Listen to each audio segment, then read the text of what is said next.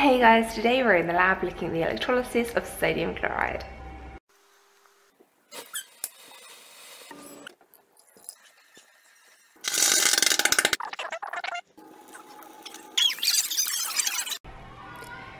Here we're going to do the electrolysis of sodium chloride. So I've got some big here.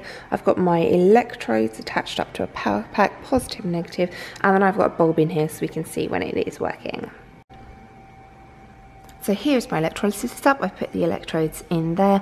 Um, it's really important to make sure they're not touching. I'm just to put the power on and you'll see that the light has come on. If I just lift this out of the solution, you'll see that light goes off because the circuit's been broken.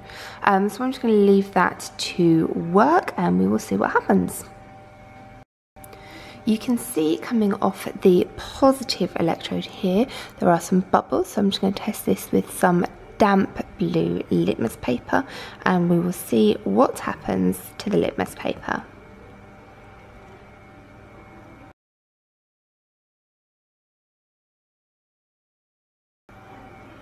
So over here at the positive electrode you can see that the blue, damp blue litmus paper has turned pink, indicating that chlorine is being released.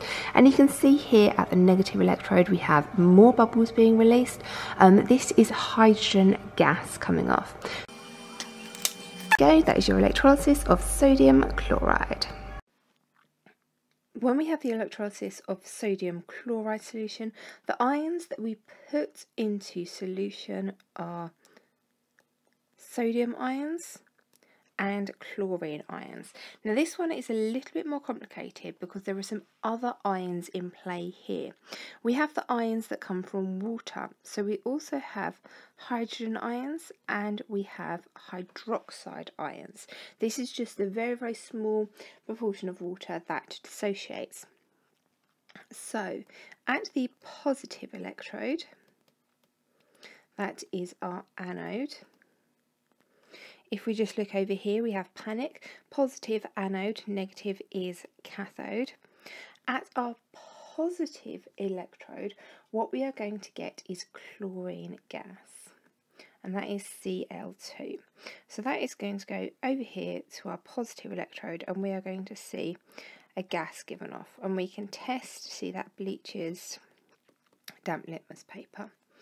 Um, at our negative cathode.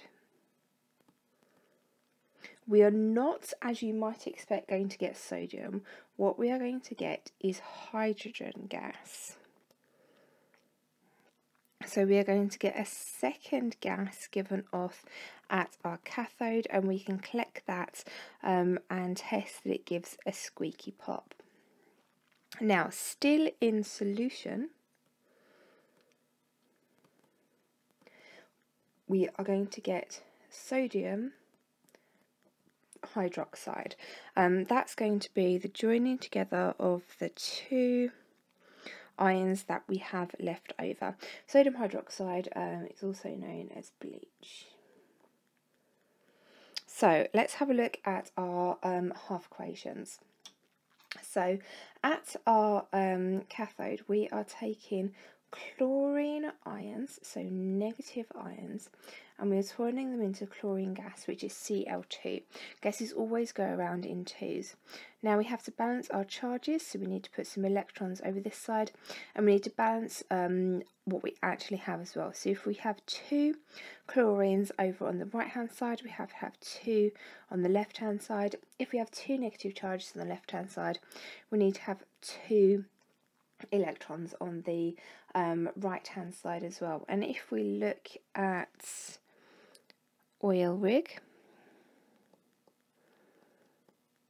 oxidation is loss, reduction is gain. This is loss of electrons, so it is going to be oxidation. If we look at what is going on with hydrogen, we have hydrogen ions and that is going to be turning into hydrogen gas. Now if we have two hydrogens on the right hand side we need to have two hydrogens on the left hand side. The right hand side is neutral so we need the left hand side to be neutral as well. So to make it um, neutral we need to add in some electrons.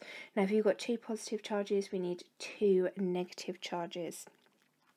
Now reduction is gain, this is gaining electrons so this is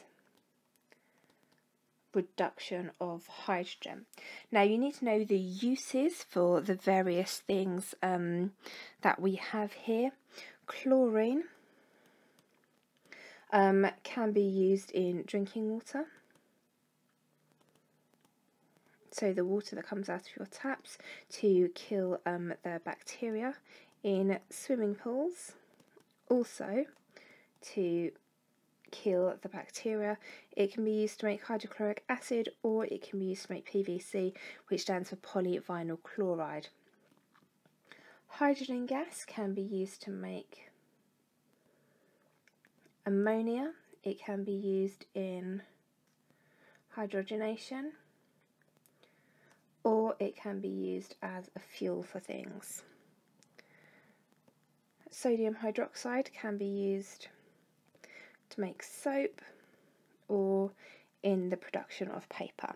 So this is one of the more complicated sets of electrolysis that you need to learn, but it's actually a really, really useful one.